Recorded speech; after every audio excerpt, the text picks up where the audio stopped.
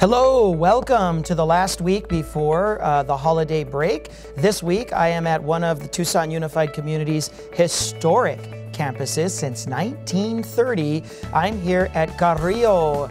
Magnet Elementary School, one of our A-rated schools of excellence with the Arizona Education Foundation, one of three, and for the sixth time in seven years, an A-rated school from the Arizona Department of Education, one of the few schools to hit the double-double, the A from the Arizona Education Foundation and the A from the Arizona Department of Education, home of the Creative Art and Communication Arts Magnet. We have arts on display of all mediums, and here to tell you a little bit more about all of the wonderful things going on at Carrillo is its proud principal, Mrs. Lori Connor. Thank you, Dr. Trujillo.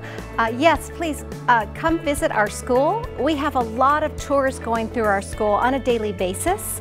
Parents come here to look at our school to see what's going on with our teachers inside the classrooms.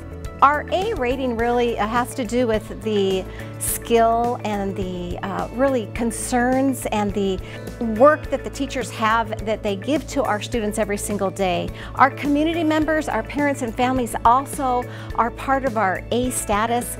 Um, we are a family here and I invite you to come out and see all of the communication and creative arts happenings here. Though here in the Tucson Unified Community, we think of ourselves as not only your workplace, but your family. We know that there's nothing more important than the family that you go home to. So my hope is that for the next couple of weeks during this holiday break, you take some time to spend with those who love you the most and those who you love the most.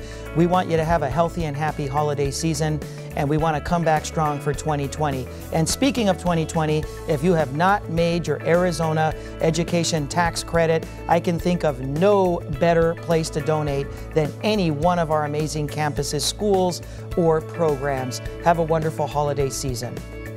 What I like about Carrillo is that there's wonderful students here and they're all kind to me. I'm a new student here, so um, so I'm learning more about Carrillo and how it's respectful and kind.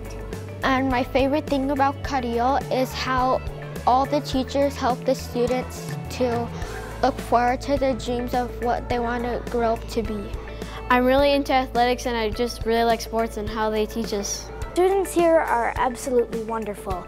They are kind and they uh, are responsible and they are always motivated to do their work.